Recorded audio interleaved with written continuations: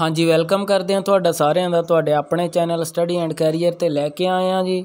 Multiple health worker Mohalla clinic clinic assistant ਦੀਆਂ ਪੋਸਟਾਂ ਦਾ ਜਿਹੜਾ ਆਪਾਂ ਪੇਪਰ ਦੀ ਤਿਆਰੀ ਕਰਵਾ ਰਹੇ ਹਾਂ ਕੁਝ ਇੰਪੋਰਟੈਂਟ ਕੁਐਸਚਨ ਸੋ ਇੰਜੈਕਸ਼ਨਸ ਦੇ ਨਾਲ ਰਿਲੇਟਡ ਕੁਐਸਚਨ ਨੇ ਮੋਸਟ ਇੰਪੋਰਟੈਂਟ ਨੇ, ਇਹਨਾਂ ਵਿੱਚੋਂ ਇੱਕ ਦੋ ਕੁਐਸਚਨ ਪੱਕੇ ਆ ਸਕਦੇ ਆ ਸੋ ਵੀਡੀਓ ਨੂੰ ਐਂਡ ਤੱਕ ਜ਼ਰੂਰ ਦੇਖਿਓ। ਉਸ ਤੋਂ ਪਹਿਲਾਂ ਰਿਕੁਐਸਟ ਹੈ ਜਿਹੜੇ ਸਟੂਡੈਂਟ ਭੈਣ ਭਰਾ ਪਹਿਲੀ ਵਾਰ ਚੈਨਲ ਤੇ ਵਿਜ਼ਿਟ ਕਰਨ ਆਏ ਆ ਚੈਨਲ ਨੂੰ ਸਬਸਕ੍ਰਾਈਬ ਕਰਕੇ ਬੈਲ ਆਈਕਨ ਨੂੰ ਜ਼ਰੂਰ ਦੱਬ ਲਿਆ ਕਰੋ ਤਾਂ ਕਿ ਆਉਣ ਵਾਲੀ ਹਰ ਇੱਕ ਵੀਡੀਓ ਦਾ ਨੋਟੀਫਿਕੇਸ਼ਨ ਤੁਹਾਨੂੰ ਮਿਲਦਾ ਰਹੇ। ਤੇ ਨਾਲ ਦੀ ਨਾਲ ਜਿਹੜੇ ਨਵੇਂ ਬੱਚੇ ਆਪਣੇ ਚੈਨਲ ਨਾਲ ਜੁੜ ਰਹੇ ਆ, ਉਹ MPHW ਐਗਜ਼ਾਮ ਪ੍ਰੈਪਰੇਸ਼ਨ ਨਾਂ ਦੀ ਆਪਣੀ ਪਲੇਲਿਸਟ ਵਿੱਚ ਵਿਜ਼ਿਟ ਕਰਕੇ ਪੁਰਾਣੀਆਂ ਵੀਡੀਓਜ਼ ਤੋਂ ਦੇਖ ਕੇ ਆਪਣੀ ਤਿਆਰੀ ਹੋਰ ਮਜ਼ਬੂਤ ਕਰ ਸਕਦੇ ਆ। ਸੋ ਸ਼ੁਰੂ ਕਰਦੇ ਹਾਂ ਜੀ ਆਪਾਂ ਆਪਣੀ ਅੱਜ ਦੀ ਵੀਡੀਓ ਦਾ ਪਹਿਲਾ ਕੁਐਸਚਨ ਨੰਬਰ 1 ਵੈਕਸੀਨ ਕਿੰਨੀ ਪ੍ਰਕਾਰ ਦੀ ਹੁੰਦੀ ਹੈ? ਤਾਂ ਆਪਸ਼ਨ ਨੇ ਤੁਹਾਡੇ ਕੋਲੇ ਦੋ ਪ੍ਰਕਾਰ ਨੰਬਰ 2 ਚਾਰ ਪ੍ਰਕਾਰ ਨੰਬਰ 3 ਸੱਤ ਪ੍ਰਕਾਰ ਜਾਂ ਨੰਬਰ 4 ਪੰਜ ਪ੍ਰਕਾਰ। ਸੋ ਜਿਹੜੇ ਵੈਕਸੀਨ ਆ ਜੀ, ਇਹ ਹੁੰਦੀ ਆ ਆਪਸ਼ਨ ਨੰਬਰ 2 ਚਾਰ ਪ੍ਰਕਾਰ ਦੀ ਹੁੰਦੀ ਆ, ਠੀਕ ਹੈ ਜੀ? ਦੋ ਨੰਬਰ ਆਪਸ਼ਨ ਤੁਹਾਡਾ ਸਹੀ ਜਵਾਬ ਹੋ ਜਾਊਗਾ।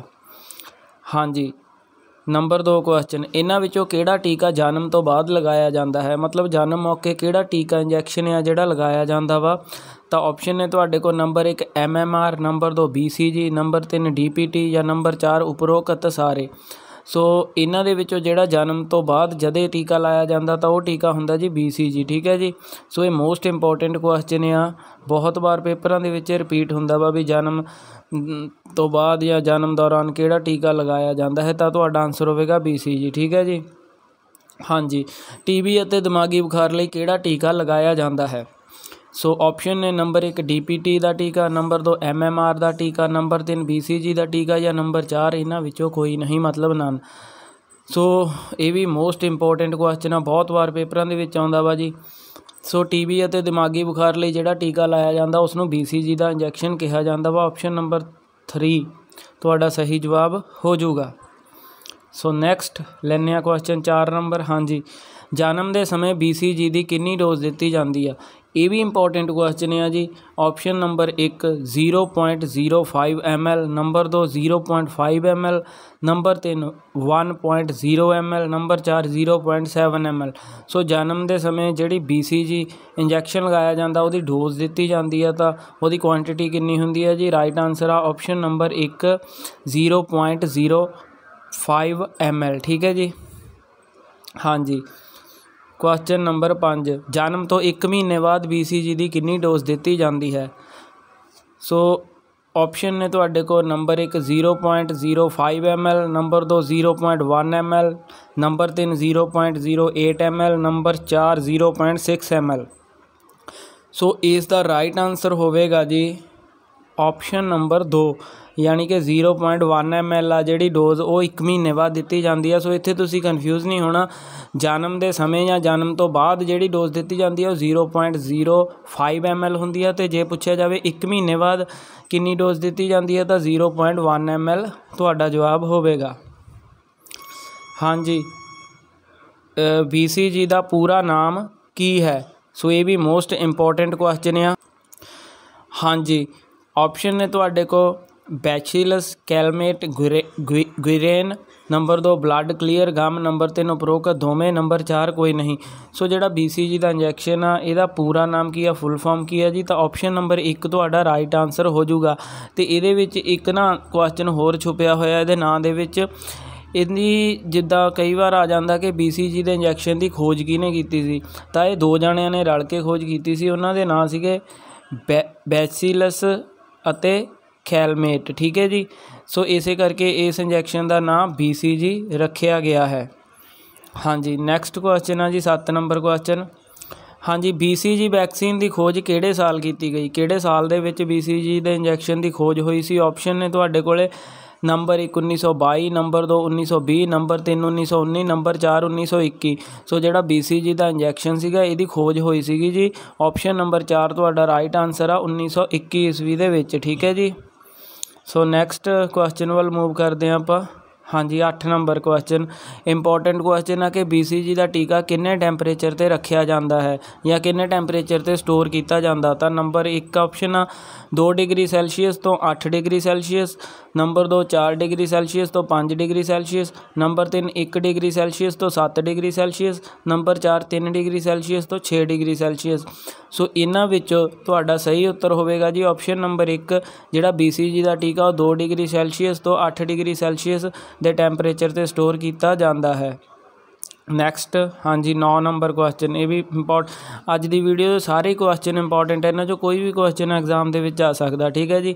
ਸੋ ਇਹ ਕੁਐਸਚਨ ਤੁਸੀਂ ਧਿਆਨ ਨਾਲ ਨੋਟ ਕਰ ਲਿਓ ਆਪਦੀ ਕਾਪੀ ਤੇ। ਐਮਐਮਆਰ ਦਾ ਟੀਕਾ ਕਿਸ ਬਿਮਾਰੀ ਦੀ ਰੋਕਥਾਮ ਲਈ ਲਗਾਇਆ ਜਾਂਦਾ ਹੈ? ਨੰਬਰ 1 ਖਸਰਾ ਨੰਬਰ 2 ਰਿਬੋਲਾ ਨੰਬਰ 3 ਦੋਵੇਂ ਜਾਂ ਨੰਬਰ 4 ਕੋਈ ਨਹੀਂ। ਸੋ ਜਿਹੜਾ ਐਮਐਮਆਰ ਦਾ ਇੰਜੈਕਸ਼ਨ ਹੁੰਦਾ ਵਾ, ਇਹ ਦੋਵੇਂ ਬਿਮਾਰੀਆਂ ਲਈ ਲਗਾਇਆ ਜਾਂਦਾ, ਖਸਰਾ ਲਈ ਵੀ ਤੇ ਰਿਬੋਲਾ ਲਈ। ਇਸ ਲਈ ਸਹੀ ਆਨਸਰ ਤੁਹਾਡਾ ਹੋਵੇਗਾ ਆਪਸ਼ਨ ਨੰਬਰ 3 ਕੇ ਦੋਵੇਂ, ਠੀਕ ਹੈ ਜੀ? ਨੈਕਸਟ ਆਪਾਂ ਵਧਦੇ ਹਾਂ 10 ਨੰਬਰ ਕੁਐਸਚਨ ਵੱਲ। ਐਮਐਮਆਰ ਦਾ ਟੀਕਾ ਕਦੋਂ ਲਗਾਇਆ ਜਾਂਦਾ ਹੈ? ਤਾਂ ਆਪਸ਼ਨ ਨੇ ਤੁਹਾਡੇ ਕੋਲੇ ਨੰਬਰ 1 18 ਮਹੀਨੇ ਤੇ ਨੰਬਰ 2 9 ਮਹੀਨੇ ਤੇ ਨੰਬਰ 3 5 ਸਾਲ ਤੇ ਨੰਬਰ 4 ਜਨਮ ਸਮੇਂ। ਸੋ ਜਿਹੜਾ ਐਮਐਮਆਰ ਦਾ ਇੰਜੈਕਸ਼ਨ ਆ, ਇਹ ਲਗਾਇਆ ਜਾਂਦਾ ਜੀ। ਆਪਸ਼ਨ ਨੰਬਰ 2 9 ਮਹੀਨੇ ਤੇ ਇਹਦੀ ਪਹਿਲੀ ਡੋਜ਼ ਦਿੱਤੀ ਜਾਂਦੀ ਹੈ। ਹਾਂਜੀ।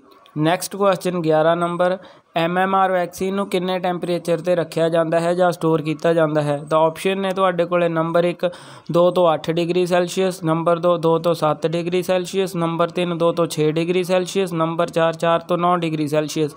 ਸੋ ਇਸ ਦਾ ਰਾਈਟ ਆਨਸਰ ਹੋ ਜਾਵੇਗਾ ਜੀ ਆਪਸ਼ਨ ਨੰਬਰ 1 ਜਿਹੜਾ ਐਮਐਮਆਰ ਵੈਕਸੀਨ ਹੈ ਇਹਨੂੰ 2 ਤੋਂ 8 ਡਿਗਰੀ ਟੈਂਪਰੇਚਰ ਸੈਲਸੀਅਸ ਤੇ ਸਟੋਰ ਕੀਤਾ ਜਾਂਦਾ ਹੈ। ਨੈਕਸਟ, ਹਾਂਜੀ 12 ਨੰਬਰ ਕੁਐਸਚਨ ਇਹ ਵੀ ਮੋਸਟ ਇੰਪੋਰਟੈਂਟ ਕੁਐਸਚਨ ਆ ਕਿ ਡੀਪੀਟੀ ਦਾ ਟੀਕਾ ਕਿਸ ਬਿਮਾਰੀ ਦੀ ਰੋਕਥਾਮ ਲਈ ਲਗਾਇਆ ਜਾਂਦਾ ਹੈ।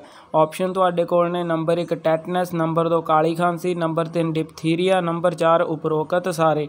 ਸੋ ਮੈਡੀਕਲ ਫੀਲਡ ਵਾਲੇ ਬੱਚਿਆਂ ਨੂੰ ਪਤਾ ਹੀ ਹੋਵੇਗਾ ਇਸ ਕੁਐਸਚਨ ਦਾ ਆਨਸਰ ਕਿ ਜਿਹੜਾ ਡੀਪੀਟੀ ਦਾ ਟੀਕਾ ਇਹ ਇਹਨਾਂ ਸਾਰੀਆਂ ਬਿਮਾਰੀਆਂ ਲਈ ਲਗਾਇਆ ਜਾਂਦਾ ਇਸ ਕਰਕੇ ਆਪਸ਼ਨ ਨੰਬਰ 4 ਤੁਹਾਡਾ ਸਹੀ ਉੱਤਰ ਹੋਵੇਗਾ। ਟੈਟਨਸ, ਕਾਲੀ ਖਾਂਸੀ, ਡਿਪਥੀਰੀਆ। ਇਹਨਾਂ ਤਿੰਨੋਂ ਬਿਮਾਰੀਆਂ ਲਈ ਡੀਪੀਟੀ ਦਾ ਟੀਕਾ ਜਿਹੜਾ ਇੰਜੈਕਸ਼ਨ ਆ, ਇਹ ਦਿੱਤਾ ਜਾਂਦਾ ਹੈ। ਨੈਕਸਟ ਇਹ ਵੀ ਮੋਸਟ ਇੰਪੋਰਟੈਂਟ ਕੁਐਸਚਨ ਆ ਜੀ। ਠੀਕ ਆ ਜੀ? ਇਹ ਬਹੁਤ ਵਾਰ ਆਇਆ, ਆਉਂਦਾ ਵਾ ਪੇਪਰਾਂ 'ਚ, ਇਹ ward attendant multiple health worker ANM ਇਹਨਾਂ ਤਿੰਨਾਂ ਦਾ ਮਤਲਬ ਆਉਂਦਾ ਹੀ ਆਉਂਦਾ ਵਾ। ਕੁਐਸਚਨ ਆ ਯੂਨੀਵਰਸਲ ਟੀਕਾਕਰਨ ਪ੍ਰੋਗਰਾਮ ਕਦੋਂ ਸ਼ੁਰੂ ਕੀਤਾ ਗਿਆ ਤਾਂ ਆਪਸ਼ਨ 1980 ਵਿੱਚ 1985 ਵਿੱਚ 1988 ਵਿੱਚ ਜਾਂ 1975 ਵਿੱਚ। ਜਿਹੜਾ ਯੂਨੀਵਰਸਲ ਟੀਕਾਕਰਨ ਪ੍ਰੋਗਰਾਮ ਸੀ, ਇਹ ਸ਼ੁਰੂ ਕੀਤਾ ਗਿਆ ਸੀ ਜੀ 1985 ਯਾਨੀ ਕਿ ਆਪਸ਼ਨ ਨੰਬਰ 2 ਤੁਹਾਡਾ ਸਹੀ ਉੱਤਰ ਹੋਊਗਾ 1985 ਵਿੱਚ ਸਟਾਰਟ ਕੀਤਾ ਗਿਆ ਸੀ। ਹਾਂਜੀ question number 14 pulse polio program ਦੀ ਸ਼ੁਰੂਆਤ ਕਦੋਂ ਕੀਤੀ ਗਈ? ਇਹ ਵੀ ਇੰਪੋਰਟੈਂਟ ਆ ਜੀ ਕੁਐਸਚਨ ਆਪਸ਼ਨ ਨੇ ਨੰਬਰ 1 1985 ਨੰਬਰ 2 1990 ਨੰਬਰ 3 1995 ਤੇ ਨੰਬਰ 4 1999 ਸੋ ਜਿਹੜਾ ਪਲਸ ਪੋਲੀਓ ਪ੍ਰੋਗਰਾਮ ਸੀ, ਇਸ ਦੀ ਸ਼ੁਰੂਆਤ ਕੀਤੀ ਗਈ ਸੀ ਜੀ 1995 ਈਸਵੀ ਵਿੱਚ।